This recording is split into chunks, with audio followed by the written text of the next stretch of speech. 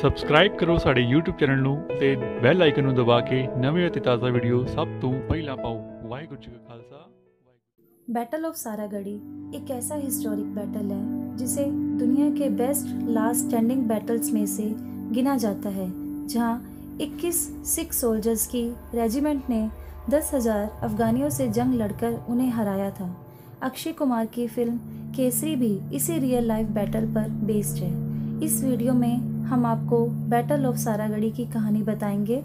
तो आपसे रिक्वेस्ट है कि इस वीडियो को आप एंड तक ज़रूर देखें। 18वीं सदी में जब ब्रिटिशर्स ने भारत को कब्जे में किया, उसके बाद से ही उनकी नज़र अफ़गानिस्तान पर थी। कई बार उनके बॉर्डर एरिया पर ब्रिटिश सेना अटैक कर दिया करती थी, जिसके कारण अफगान के लोगों में बहुत गुस्सा था। इसी वजह से अफगानियों ने कई बार ब्रिटिश इंडियन आर्मी पे अटैक भी किए। इसके बाद अफगान इंडियन बॉर्डर पे टेंशन बढ़ गई कि बॉर्डर एरिया पहाड़ों से घिरा हुआ था, जहाँ दो किले हुआ करते थे, फोर्ट गुलिस्तान और फोर्ट लोखाट जिनका निर्माण महाराजा रंजीत सिंह ने अपने कार्यकाल में करवाया था। दोनों ही जगह ब्रिटिश सेना ने अपने सोल्जर्स तैनात किए हुए थे। ये दोनों किले पहाड़ों पर थे, जिसकी वजह से कम्युनिकेट करना मुश्किल हो जाता था। इसलिए दोनों किलों के बीच के माउंटेन रेंज पे एक और किला बनाया गया, जिसका नाम रखा गया सारागढ़ी। फोर्ट सारागढ़ी पे 21 सिख सोल्जर्स तैनात हुआ करते थे, जिनका मेन काम फोर्ट लोखाट और फोर्ट गुलिस्तान को सिग्नल देना होता था। उस समय टेलीफोन और कोई इलेक्ट्रॉनिक टेक्नोलॉजी का होना पहाड़ों पे पॉसिबल नहीं था तो यह सिग्नल्स मिरर के थ्रू दिए जाते थे, जिस प्रोसेस को हेलियोग्राफी कहा जाता है। फोर्ट गुलिस्तान और फोर्ट लोकहाट के कंपैरिजन में फोर्ट सारागढ़ी में बहुत कम सोल्जर्स तैनात थे तो अफगानियों ने इस फोर्ट पे अटैक करना सही समझा, क्योंकि अगर उन्हें फोर्ट सारागढ़ी मिल जाता तो दोनों मेन फोर्ट का कम्युनिकेशन रुक जाता और अफगानियों के लिए यह एक बड़ी जीत होती।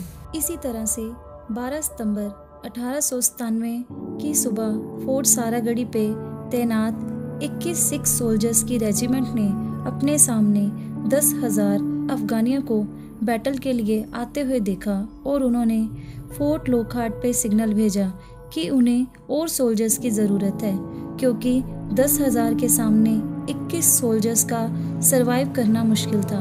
पर ब्रिटिश आर्मी को सात से आठ घंटे चाहिए थे, क्योंकि इतने सारे सोल्जर्स को एक साथ भेजने में भी टाइम लगना था।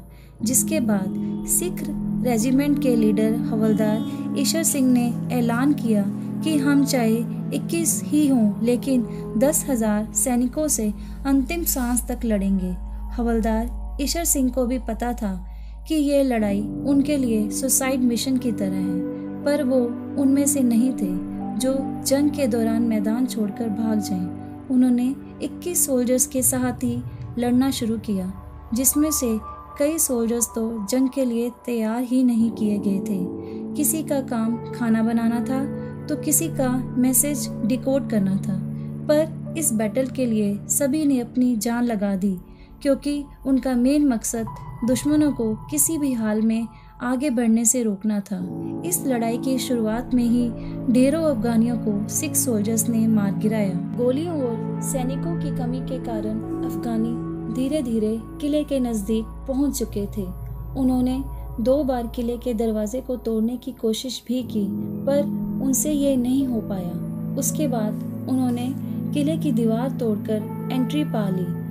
उसी दौरान कई सिख सैनिक भी मारे गए। अब सिचुएशन यह थी कि सिख सैनिकों के पास गोलियाँ खत्म हो चुकी थी तो उन्होंने अपनी लड़ाई तलवारों और बिना हथियारों के ही जारी रखी। किले के अंदर घुसने के बाद भी सिख सैनिकों ने अफगानियों को कई घंटों तक कड़ी चुनौती दी और जख्मी होते हुए ईशर सिंह और उनकी रेजिमेंट लड़ती रही। बीस फौजी शहीद हो गए। केवल सिग्नल मैन गुरमुख सिंह ही बचे थे। सिग्नल मैन गुरमुख सिंह ने कर्नल हाटन को सिग्नल दिया कि मेरे साथी शहीद हो चुके हैं।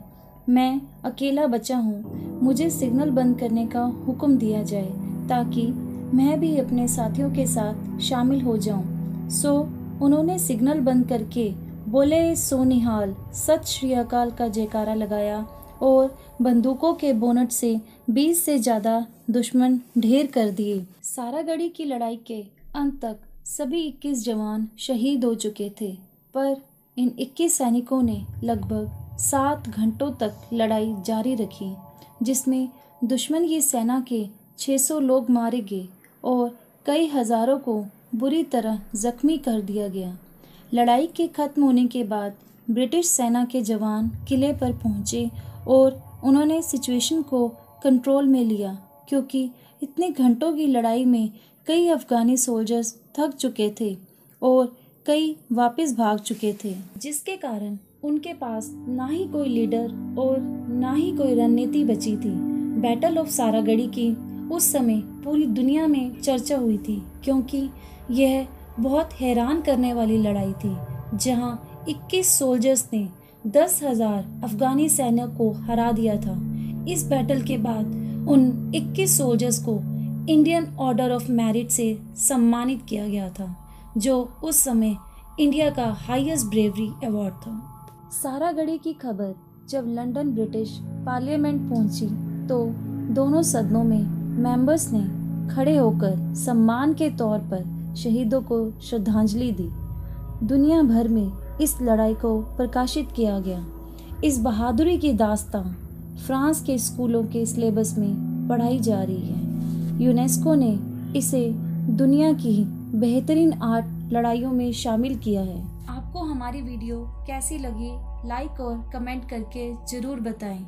ऐसी और वीडियो देखने के लिए हमारे चैनल अमृत कथा को सब्सक्राइब करना ना